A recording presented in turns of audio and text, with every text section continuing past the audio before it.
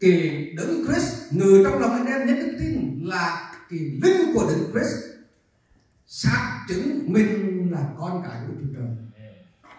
Chúa Giêsu hà hơi đến cả môn đồ và nói hãy nhận lần đức thánh linh nhưng mà Chúa ngài cũng nói, bây giờ các người về chờ trong thành 10 ngày để chờ bảo tem thánh linh, chờ cha ban cho. Điều ngài đã hứa tức là ban thánh linh của cha và khi Đức Christ ngự mới đường được vinh quang người mới được Đức Chúa Cha nhận Đức Thánh Linh từ Cha và đổ Thánh Linh của Cha xuống.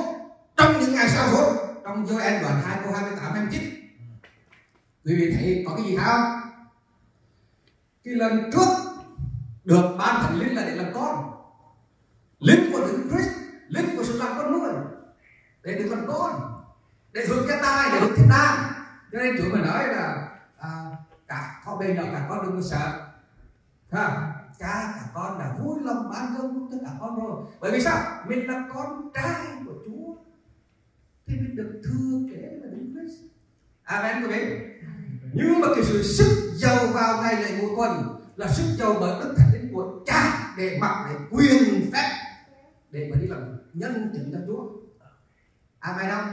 Cho nên Chúa Giêsu nói khi thánh linh giá trên các con khi ta nhận thánh linh từ cha đổ xuống trên các con các con nhận lễ tuyên phép và đi làm chứng cho ta khắp cả thế giới. Và cái phần sau đó là cái phần là chúng ta xin xin ban cho xin ban cho con thần của cha. Quý vị nhớ nhé. Rồi bây giờ chúa ban cho một lần mà mới có cái power quyền năng để gần chứng. Nhưng bây giờ mình muốn là để có cái quyền năng để đi giảm tin lần nữa. Thì làm sao?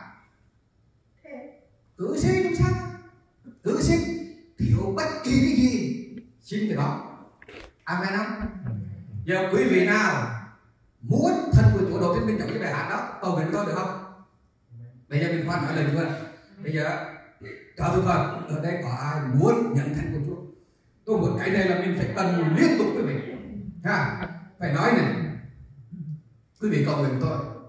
Cha ơi xin ban cho con thành linh của ngài cảm ơn quý vị. Bỏ tay xuống đây rồi quý vị có gì gì thay đổi không? Nhận được chưa? Chưa. Tôi chưa thấy có ai nói tin mới cả. Tôi cũng chưa thấy ai nói tin riêng cả mà thấy sắc mặt của mọi người cũng bình thường. Chứ gì á. Chúa kêu xin, không phải nói một lần. Nhé hãy xin thì sẽ được. Nhưng mà xin này là một cái động từ liên tục, quý vị ha? Xin và tiếp tục, xin cùng giống như mình tin Chúa Giêsu vậy. Mình tin Chúa và tiếp tục tin. Chứ không phải tin ngày hôm nay ngày mai phải tin. Thì coi như là thua rồi. Quý vị đồng ý không? Xin cho đến chừng nào thân của Chúa đổ trên con khao khát đến chừng nào thân của Chúa đổ trên con nhiều lúc mình không thể hiện cái bồ câu đổ lên. Nhưng mà cuộc đời mình biết đổi từ đó mình cảm thấy tình yêu sao đầy dậy trong lòng.